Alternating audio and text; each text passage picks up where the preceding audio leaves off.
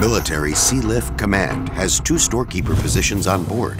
These individuals are responsible for the proper performance and administration of all supply department functions, assigned in accordance with directives and programs. You'll be responsible for the day-to-day operations and maintenance of records, correspondence, reports, returns, and obligation records for all material housed on board or needed for our customers. More importantly, you are responsible for proper receipt, stowage, distribution, and transportation of fleet cargo, mail, freight, personal effects, and unaccompanied baggage, as well as tracking all shipboard hazardous materials, receipts, issues, and stowage. Knowing where everything is is a big responsibility. Are you up for the challenge?